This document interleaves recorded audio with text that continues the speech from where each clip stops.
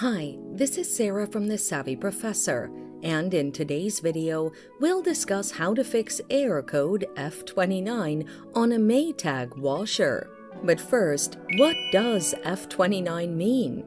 The Maytag error code F29 shows that there is a problem with unlocking the washing machine's door.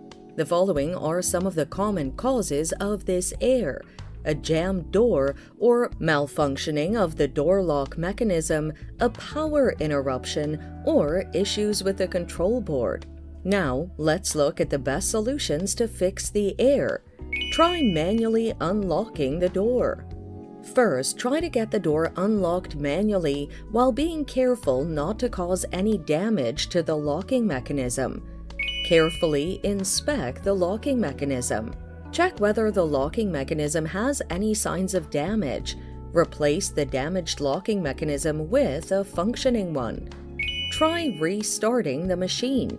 Unplug the machine from its power source and wait for a few minutes, then plug it in and power it up.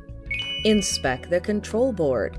Unplug the machine from the power source and check for any loose wiring on the control board and tighten them if any.